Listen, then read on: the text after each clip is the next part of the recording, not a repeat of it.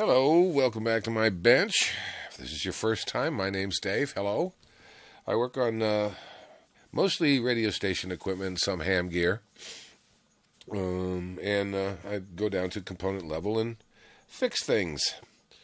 Today on the bench we have a uh, Symetrix 525. This is a good little uh, dual gated compressor and limiter, expander gate, compressor li- limiter gate. It, it's nice little box. Um, you could run it in dual single mode where you've got um, one one uh, signal going in here and another one going in here and completely isolated, or you push the stereo button and these controls didn't do anything. These you know function for both sides. Uh, you can turn it off and turn it on as far as going uh, being used or not. Uh, and they were pretty good little little devices, uh, and they still are. they they've got quite a following out there. This one came in with a complaint saying that uh, the right channel would uh, drop in and out uh, and not work anymore for some reason. Um, and the only thing I could find on it was this uh, mono stereo switch uh, may have been flaky. Every once in a while, you could get it to do something, but it's been burning for days, and now when it's fine. Um, the other thing I did is I replaced the caps that needed replaced in it, uh, and everything is fine and it works good. However, one of the things you have to do with these is you have to uh, set up the symmetry on the uh, VCA voltage controlled amplifiers. There's two of them, one over here and one over here. Uh, in this particular one, it's a DBX 2150A.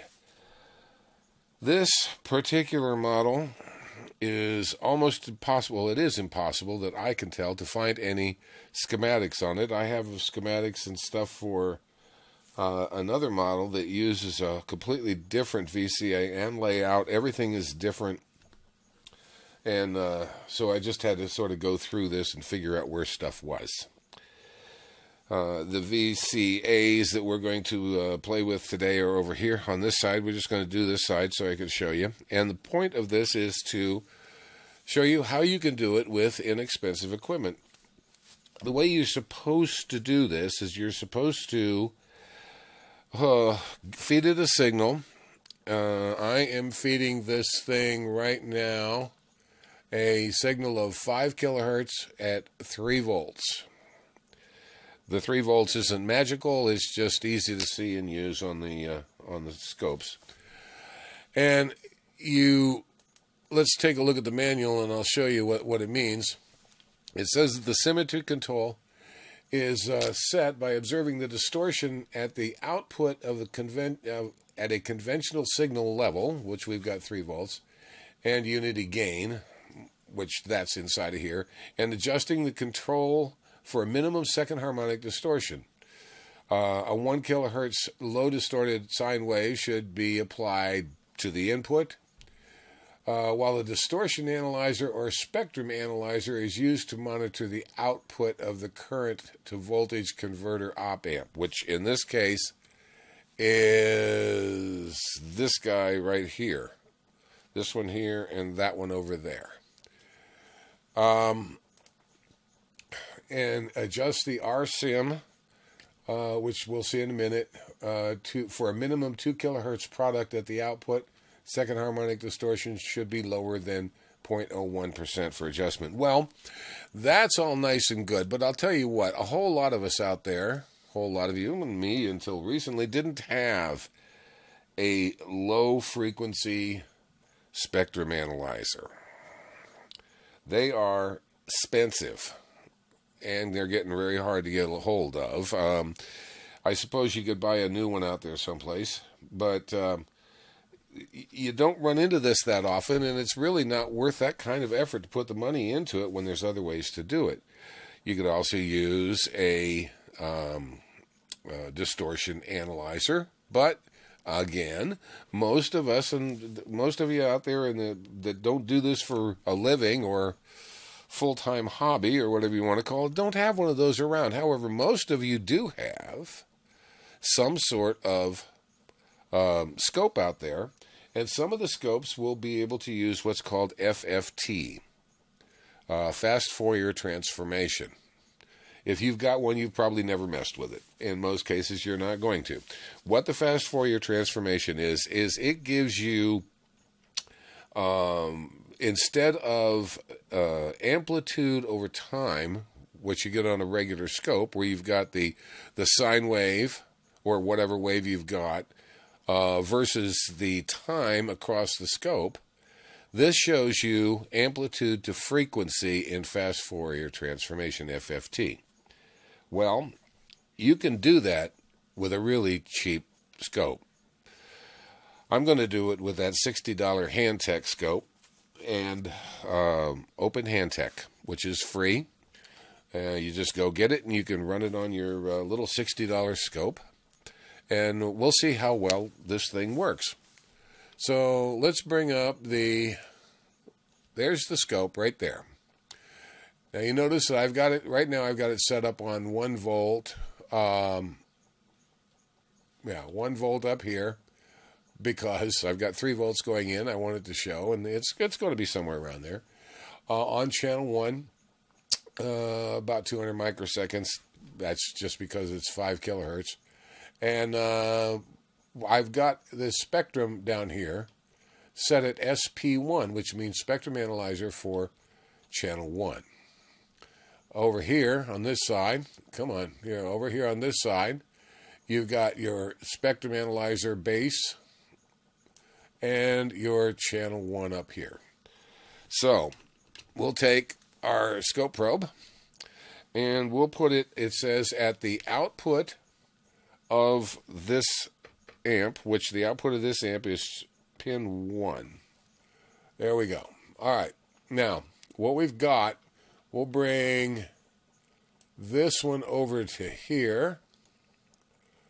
And that's going to show us there. And how do I get another one? Oops. Oh, there we go. We'll bring one over to here someplace. And we'll bring this one over to here. Now, if you look, you can see that my the frequency, my first marker, which is here, is at 5 kilohertz and the second marker is at 9.96 somewhere around there kilohertz. we're going to kind of get that out of the way so you can see what's going on. So we're looking at the frequency here and a uh, a plot of the frequency going out. So in our case, this would be the second harmonic at 10 kilohertz. 5 times 2, 10 kilohertz. What you want to do is you want to take your diddling tool, whatever you've got, into the symmetry adjust pot and watch that 10 kilohertz um, bump there. And we're going to turn that down. And down it goes. And you see the 10, the 3, the 3 up there that's starting to bounce over on your right. If we take our uh, marker Let's go on the other side of this, take our marker, go over here. You notice that that says 15 kilohertz? That's your third harmonic. So our second harmonic is here, and our third harmonic is here. Right over, come here, right there. So you want to diddle with it to get it so that your lowest second harmonic no third harmonic, and about as flat as you could possibly get it, which is right about there. There's almost nothing there. Now I got this set for about 10 dB. There are limitations on this. I can't go any lower because if I go any lower, I can't get this back on the screen. And if you go any higher, that's 60 dB. If you go any higher, um, you won't you won't have a, a decent looking signal. So let's tweak that just a little bit more.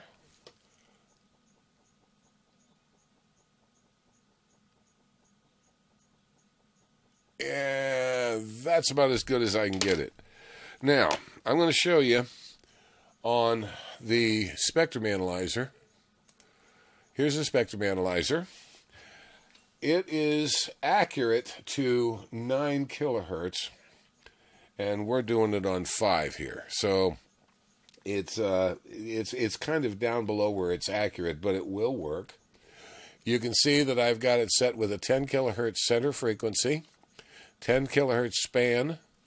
Uh, so that's going to give me both whole sides of both sides. Um, and uh, my marker right now is at 10.4 kilohertz. My, uh, let's see, where is it? Um, my frequency, my frequencies are set up there, and my amplitude is set up on log, and the attenuation is set to, you know, to auto with a reference level of about 35 dBm. And let's take a look at that same point where we were looking at before. And you can see there over here, uh, yeah, I don't know if you can see this, um, my mouse or not, but if you look over here on this side where it says reference level 35 dBm, that is my, uh, that's the 10 kilohertz or the 5 kilohertz lump. And down where the marker is, is the 10 kilohertz. So let's, lump, technical term. So let's tune this up and see what we get. There we go. We're going on one side of the of the symmetry pot and back down to the other side of the symmetry pot. So we'll take it down just as low as we possibly can. which is right about there. All right? All right. The reason we did that with five was because my spectrum analyzer just won't go any farther. So let's go back over to here. Uh, set the function generator to, uh, where'd you go, function generator? so that I can see it too. Here it is. Okay. Uh, set the function generator to 1 kilohertz like it says in the book. All right. And now bring up the the scope. So we're going to do this like the book says. We're still over here on um, yeah, we're still, everything is all set up like it was. So now we'll do this. Now you can see here, we've expanded this way out because we're on one kilohertz. So let's, let's take this down, up. Come on, mouse, you can do this. There we go. And take this down to 500 so that we can see it, okay? well, you only got a choice of 500 or 200. So we're on 1 kilohertz now. Take a marker over, and this should be 2 kilohertz. Okay? So now we're going to adjust this down on this spec in, or on this fast Fourier, down on the 1 kilohertz side. That's the other side. That's right down at the very bottom. That's about the best we can do. So at one kilohertz input, it was off a little bit, and we want to make sure that we're doing it like the book says. Anyway, that's how you can use a cheap $60 oscilloscope with fast Fourier transformation to line up these um, uh, VCAs in, in these uh, well, they're in lots of things actually. The, the many many devices use these. Let's take a look at this side and see what it says. Hello. Wrong probe. Too many probes in the bench. Uh, so this one's off a little bit. Let's get this side. Okay, none, they're not going to be perfect, but it says to go for the second looks like our third harmonics are pumped up a little bit, but you know, it's it says to go for the second the best we can. So, all right, there's both of them set up the way they're supposed to be. Anyhow, if you like these kind of videos, let me know. Uh, give it a thumbs up and don't forget to subscribe. Um, and uh, don't forget, I've got a Patreon channel now. And uh, if you want to support me on the Patreon channel, that'd be nice. It's uh, Patreon slash AERV blog. And uh, give this thing a thumbs up because uh, this is kind of interesting. Until next time.